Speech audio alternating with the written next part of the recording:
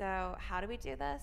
I give you guys a scenario, and you play it out and get feedback afterwards. Oh, yeah, it makes sense. So the scene is you're a newlywed husband and wife in 1949, and the wife wants to know what the war was like.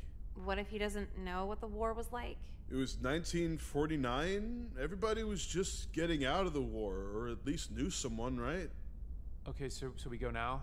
Yeah, uh, action.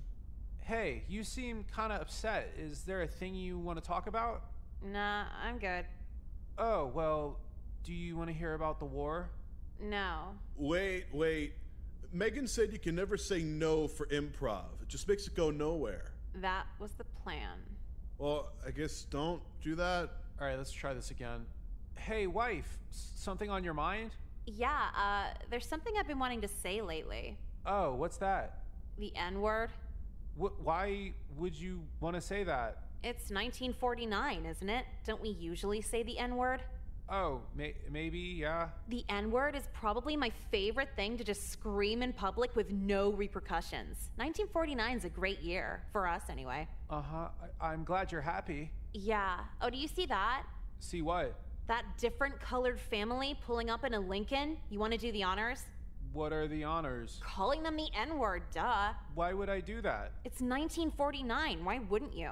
Oh, right. Um, is there anything else you want to talk about? Yeah, do you want to join the KKK? It's normal right now. No? Dude, what the fuck? Megan! What's the matter? Crispin said no during the improv. What the hell, Crispin? We went over this. No, but. Another no. I told you to get that word out of your vocabulary if you're gonna do this exercise. yeah, but the situation got kind of. The situation doesn't matter. It's improv.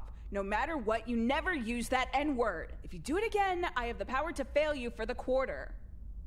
All right, so uh, resume scene.